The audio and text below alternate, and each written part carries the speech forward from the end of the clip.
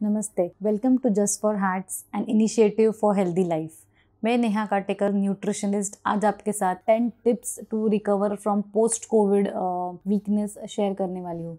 तो मैंने एक पहले भी वीडियो किया था कि diet for covid positive patients उसमें काफ़ी सारे लोगों के क्वेश्चंस आए। कोविड होने के बाद जो एक बहुत ज़्यादा वीकनेस होता है तो वो वीकनेस कम करने के लिए आ, क्या कर सकते हैं?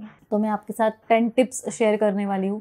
तो first and very important tip is have balance diet तो बैलेंस डाइट मतलब क्या है कि तो जैसे मैं आप वो वीडियो भी रेफ़र कर सकते हो कि आपको बहुत वैरायटी ऑफ़ फ़ूड आपके डाइट में इंक्लूड करना है।